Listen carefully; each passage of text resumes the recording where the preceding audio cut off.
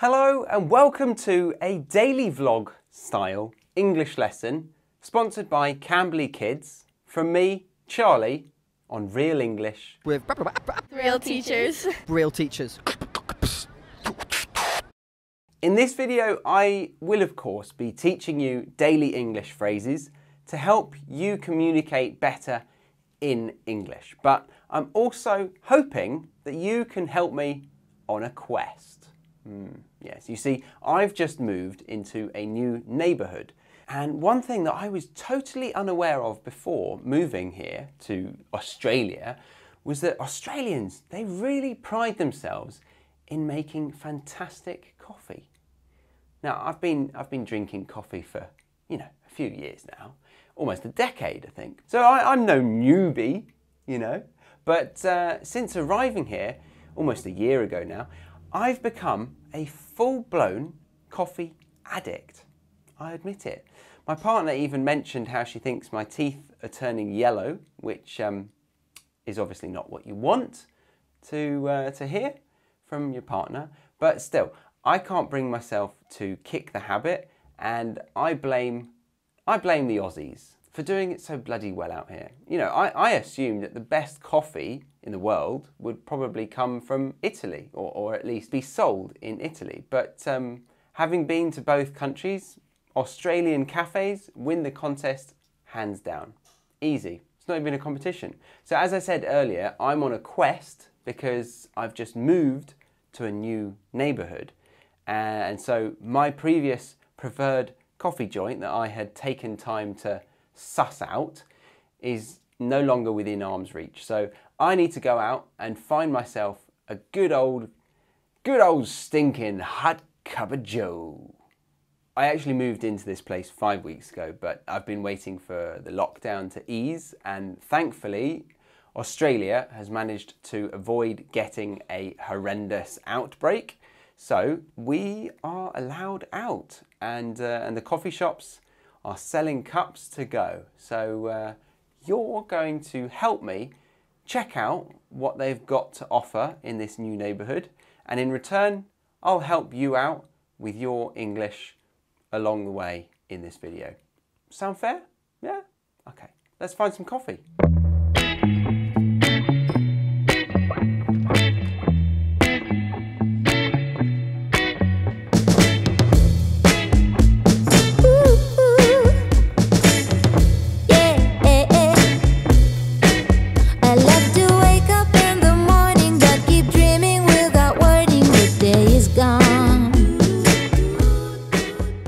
So the area I've just moved to is called Balmain, which is on the southern side of the harbour, but on a peninsula slightly west of the city centre, or what you could call the downtown area if you're an American, or the Aussies, they call it the CBD, the Central Business District.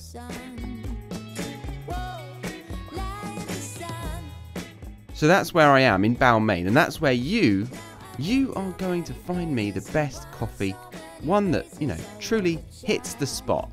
So come on, let's go have a look at what they have to offer after a quick word from the sponsor of this video. I've had a bunch of students who want their kids to start learning English from a young age, which is great but they often don't know where to look online for properly trained and safe tutors for their kids. Well, today's sponsor is Cambly Kids, which is an app for young English learners between the ages of 4 to 15, and they've been certified as a kid safe educational program designed exclusively for young English learners. And better yet, they are the most convenient tutoring service in terms of scheduling that we've come across so far. So, if you want to give your child the gift of learning a global language with a native tutor that is not only trained to teach in line with standardized academic English, but actually knows how to engage with your child in English, then check out Cambly Kids in the description box below. And before we get back to the video, I wanted to say something we all know, but we might need reminding at some points that at a young age, we are open to so many areas of interest, and it's the passionate teachers that heavily influence our decisions and the paths we go on to choose. So, finding a tutor for your child that isn't forceful but is fun and engaged is everything for the chance of your child to fall in love with this language that gives endless possibilities and opens so many more doors for them in the future. So, I really recommend Cambly Kids for those of you who are wanting to find a solution for your children. And what's great is the lessons are all recorded, meaning you can really see how they are getting on with their studies and, and, and teachers without them feeling uncomfortable with you in the same room as them. Let's get back to the video, but I'll tell you about Cambly Kids' crazy discounted offer for our followers at the end of this video. Okay, so I'd like to say I've I never thought I would sound like a pretentious coffee snob. Um, but, you know, life unfolds in ways that you can't predict. And I have to admit that I now get a bit sad inside if the milk in the coffee is a bit too frothy, or if it's a bit light, or the coffee isn't strong enough. And, and if the ratio, or if the ratio of the coffee and the milk is, is way off, then yeah, I'm very sad inside. But today we're full of hope because you are getting me the best coffee in Balmain, aren't you? Yes. So you're going to find me the best one in town. Don't let me down.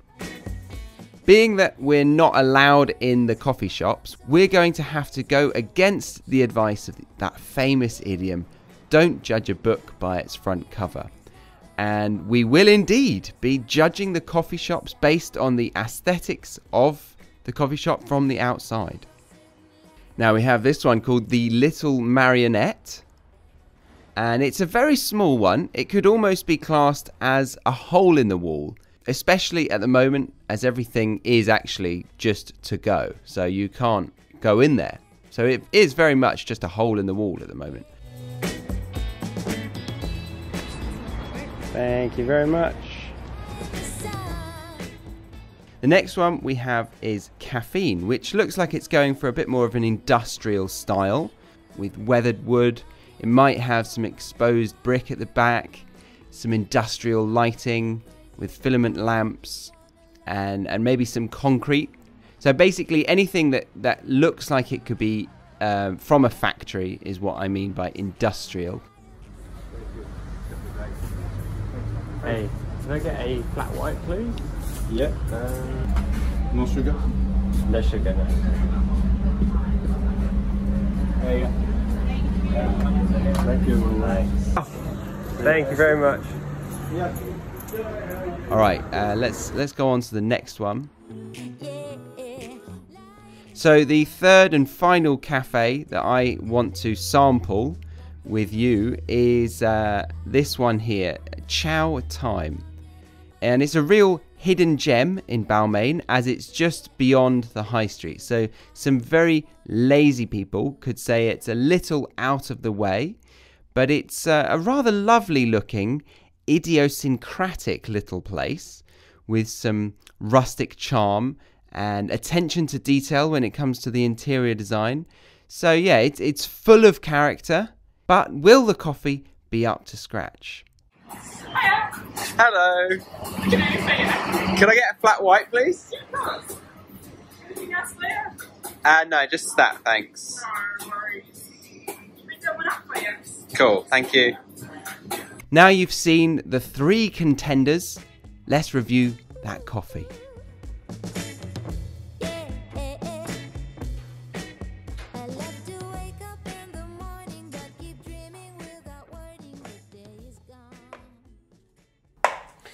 Right, okay, there we go. Here we have all of the coffees in Balmain, or at least three of the most interesting coffee shops that I could see on Balmain High Street. Are they any good? Which will I go back to, if any? That is obviously why you are still watching, right? So, let me review them with some useful English for you. All right, first off, we've got to give credit to the design of the takeaway cup. You see there, yes. I've, uh, I've been gradually pushed towards using a keep cup to save the planet, one coffee at a time, but um, during the outbreak, it's apparently a bit unhygienic, so I've been able to uh, use and abuse the coffee cups. Hallelujah. So, immediately, I'd say that caffeine comes out on top. Um, I think the, the little graphics are quite cool. The, the little doodles, um, they look almost like something that someone would, would draw on a coffee cup if they're bored, listening to someone explain which coffee they prefer. Ooh. Um, I like the font on this one. Simple, minimal, which is um, apparently a style that is very much in at the moment. So, yeah, these are quite good. This is probably better. I can see what Chow Time are doing here, what they're going for, but to be brutally honest, I don't appreciate it. It's not my cup of tea. On to the, the jitter juice. Um, full disclaimer, I don't say that slang term, the jitter juice. Um, I just say coffee or the black stuff maybe, but I saw it online and I liked it. So I might start using it, the jitter juice, because, you know, coffee really does make me um, have the jitters. The jitters is when, when you shake. And uh, yeah, too much coffee, I, I jitter, I jitter. And yes, you were right. As soon as you thought, saw these three cups um, come through that door, you thought, right, I will be bouncing off the walls today if I have these three cups back to back. Generally speaking, uh, I don't hear many natives uh, speak about coffee more than saying it's good, bad, strong, weak, or perhaps maybe milky. They might say it's, it's milky if there's too much milk. They might say that the, the milk is burnt, if it is, if it tastes sweeter and, and thinner. If you want to sound a cut above the rest when describing your coffee, then the three areas I've heard some highlight are the aroma, the smell, the acidity, which is the flavors, and the body, which is the texture. With the aroma being how it smells, I've heard some coffee snobs talk about it being earthy. I've heard that word quite a lot. Maybe spicy. I wouldn't like a spicy coffee, but yeah, I've heard that. Floral, like this one, or nutty. Those are just some some descriptors. Okay, um, let's see. Let's see what we've got with the little marionette.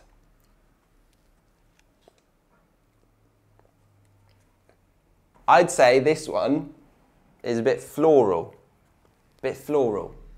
Then with acidity, you've got the bright, tangy, fruity or, or wine-like flavor characteristics. Uh, I would say is a bright flavor, a bright flavor, floral, bright, um, and then the body, the final, final one of the three. So we've got aroma, we've got acidity, and then we've got um, body, which is the physical mouth feel and texture of the coffee. And most mention them to be light, medium, or full. That's pretty easy. Uh, I would say that this one was light. It was light. I also comment on the, the milk being smooth or frothy, which is um, more about how the milk was steamed. Um, and a nice word associated to a flat white, not a cappuccino, a flat white, is velvety. The milk was quite velvety. Uh, the fabric velvet is really smooth and soft, but quite thick. So it works quite well with the explanation of smooth milk. Um, so this one, I would say, was medium to light. And I'd say I've had a smoother, more velvety flat white coffee before. It's not, it's not my favourite I've had so far.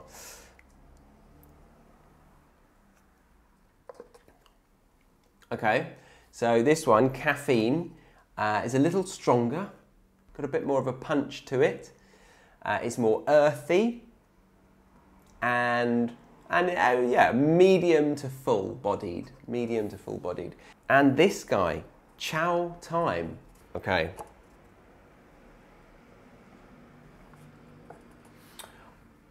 A lot stronger. So yeah, this one very strong, earthy again, uh, perhaps a bit bit more like uh, a wine-like flavour, and um, I would go with full-bodied. Full-bodied. I'm saying all of these to you to give you a wider understanding of the vocabulary available for you, but I don't encourage you to say all of these words if someone you don't know is asking you how your coffee is, Um, because you'd look like a, a complete maniac. You'd look like a, a, a real coffee snob, which is probably what I'm looking like in this video. But if you want to sound a bit more knowledgeable, you could drop in one, maybe two of these words. Unless you do want to impress them and you want to sound like you know a lot about coffee, then yeah, go for it. Go to town, sure. So, did you help find me a new coffee shop in my new neighbourhood? Yes, you certainly did. And the award goes to, I would say, yeah, this one. Very strong. I like a strong coffee now. I believe I will be going back to this place many times to, you know, help me wake up and serve my students proudly. Ah. Talking of which, I hope you found this video useful. Uh, as Harry and I are in such different time zones again, we need to find ways to, to give you real English on our own. And I hope you noticed how much there was in this video. There was a lot of real English. So, you know, make sure you practice the vocabulary. I suggest watching it a couple of times, perhaps, or at least pausing the video to take notes. And as always, always, I can't recommend this enough, give us a comment using the phrases in the video. It, it helps you practice in an active way. It shows me that you like this content and it also tells YouTube that it's a good video. So go on, go on. Comment using the phrases that I've used in this video. Give it a thumbs up if you liked it. And why don't you share it? I dare you to share it with someone. That would really help. Anyway, that's enough from me. I'm going to go uh, get high on these cups of coffee, and I will see you next time on Real English with Real Teachers. Cheers.